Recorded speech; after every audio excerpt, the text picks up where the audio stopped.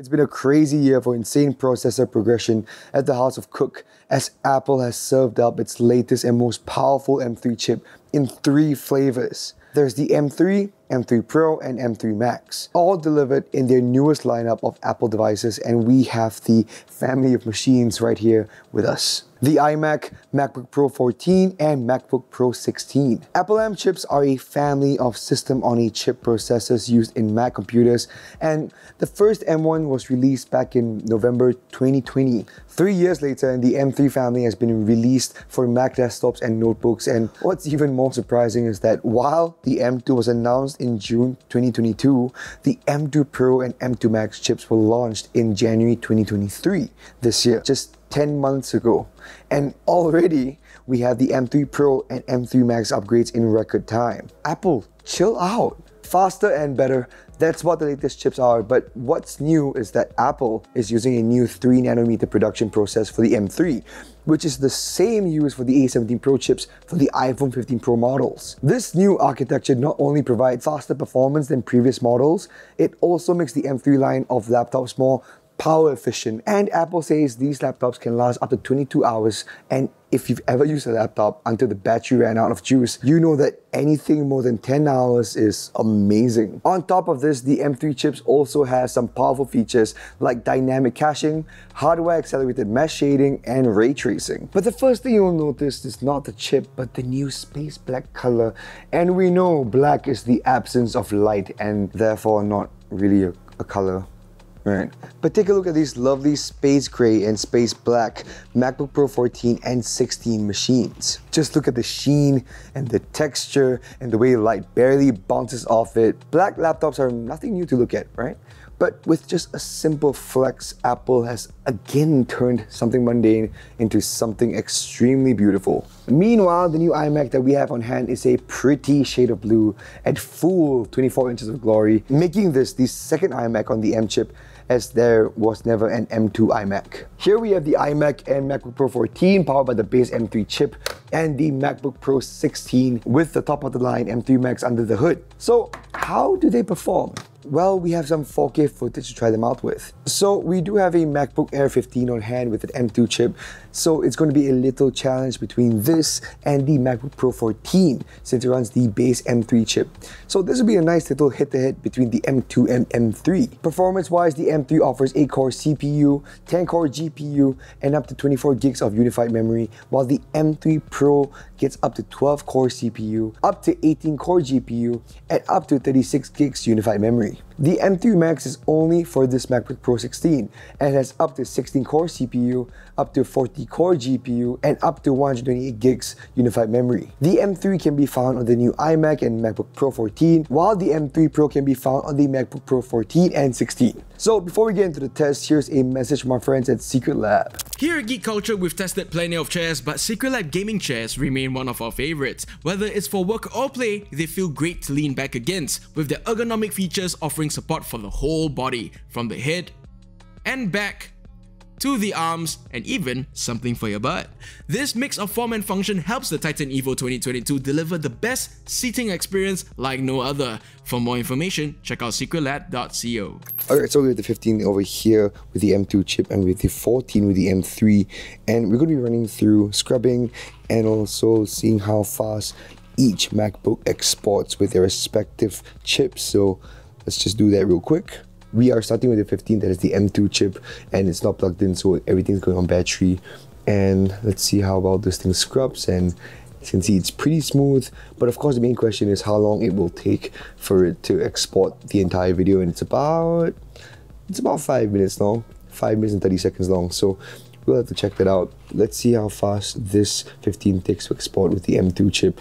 We are at render maximum depth maximum render quality is ticked off as well. CBR20 so let's hit the export and hit that together at the same time. Yeah. Let's go. One two three. Okay so we're coming into the final 10% of the export and we're running about 6 minutes and 27 seconds for about 5 minutes and 30 seconds of 4K footage with B-roll, with some B-roll and supers and graphics and everything. So it's running as expected. I've been working with the 15 since its launch and here, wait up, hold on. All right, and here we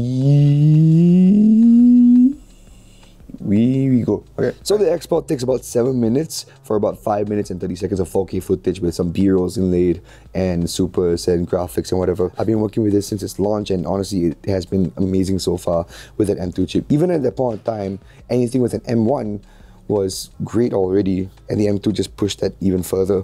And now let's see how the M3 works out. So same deal with the MacBook Pro 14. We're now plugged in, we're running solely on battery. It's set to full over here and let's see how scrubbing is like. It's the same project as the one on the 15 and as you can see it's buttery smooth as well. Just look at that. Render maximum depth, maximum render quality, CBR20, alright. So let's hit that export button and let's see how long this takes. Alright, last 10% of the export and yeah, this thing is lightning fast. Look at that. We're not even near 7 minutes right now and we're at 92% in the last 22-ish seconds of the export according to Premiere Pro. And let's get ready to stop this. 15 more seconds. Man, okay, that is fast. Okay, let's go. Five, four, three, two, one, and yep. Oh, okay. But that's the final time for this whole export. So this basically backs up Apple's claim. Okay, so for funsies, we're going to be running the same export on my PC over here. We are running a 12th gen i7. We also have 32 gigs of RAM.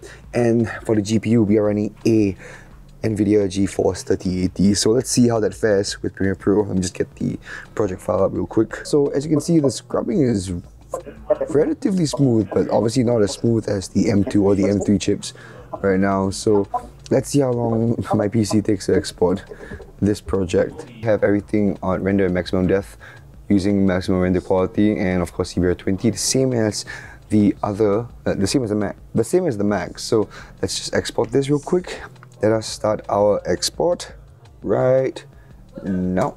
Again, this is a gaming PC and also it's plugged in, so, so it's not exactly a fair comparison to the MacBook Pro 14 we have at the back. And so, okay.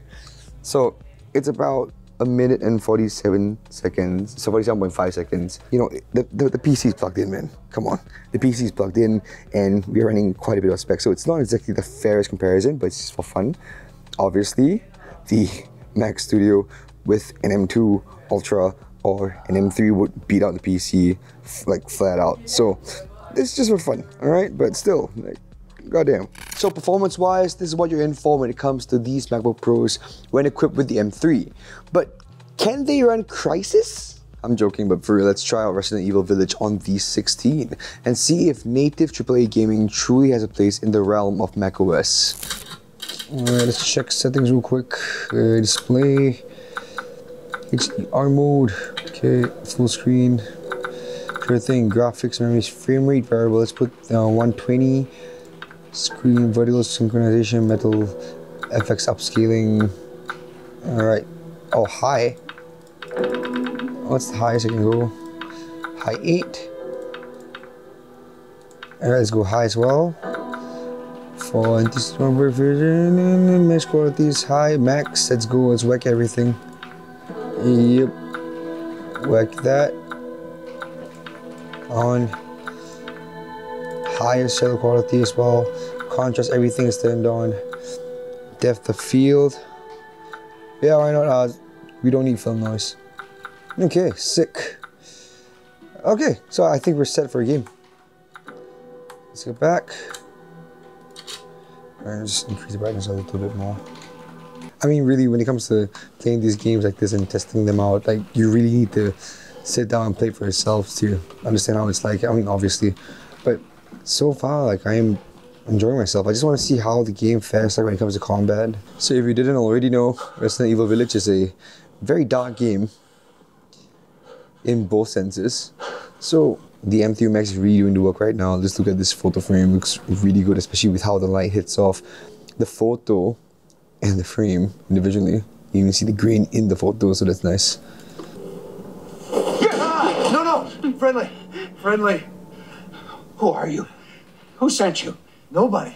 There was an Oh, accident down dark. the road. And... What's going on?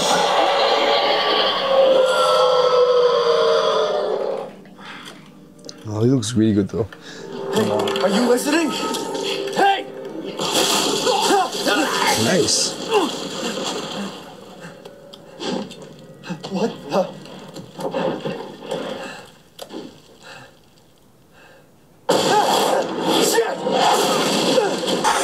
So we kind of made it this far. I think the camera kind of stopped because of the uh, because the camera's overheated. But wow, this looks really good right off the bat, and you guys need just need to try this out for yourself.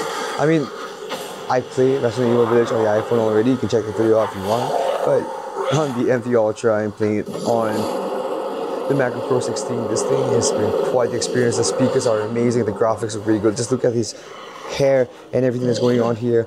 The combat. Uh, it's Resident Evil, right? But who would have thought? AAA gaming does have a space in the Mac OS world.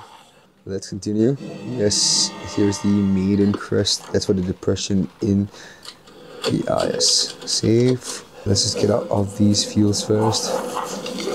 Oh, there he is. Oh my god. Okay. Here we go. And I missed one shot already, so that's not that's not good.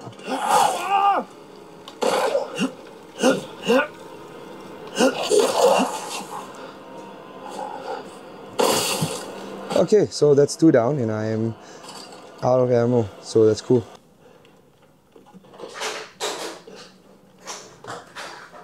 There we go.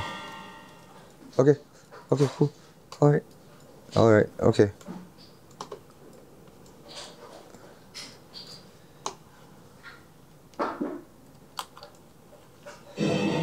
Nice. Okay, let's get back.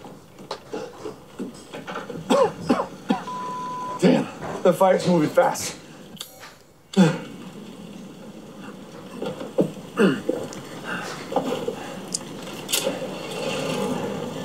What are you thinking? Step back. We can bust out with this.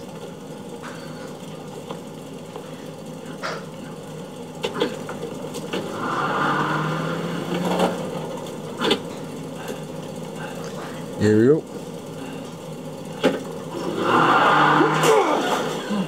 Why the fuck is this happening again? Shit!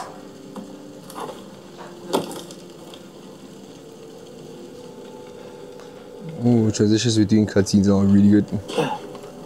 You're not local. Even better.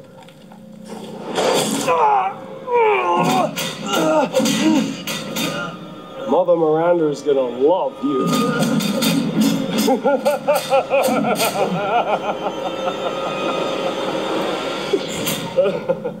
Alright, sick. I think we have enough. As you can see, the MacBook Pro 16 with the M3 Max is the most powerful, but how powerful? Well, we ran Geekbench 6, a benchmark test to measure performance, and this laptop, the latest that Apple has, is on par with this souped up Mac Studio that we have that is running M2 Ultra. And the Mac Studio was released less than five months ago, which means that in just five months, Apple has launched a laptop that performs as well as its high performing desktop. That's insane. So just let that sink in. So there we have it. Apple has been putting out M series chips for their machines and tablets, and they aren't planning on stopping. It's really just another day in the office for them with classic Apple designs and their drive to create faster and more powerful tech to keep them at the top of their game. If you've got any questions about these devices, let me know in the comments below and I'll do my best to get to them. If you like what you're watching, keep up with us on all of our socials right here because we post stuff every day and maybe hit the like and subscribe buttons. It'll help us out a lot. Have a great weekend. If you want to see more stuff, check this out.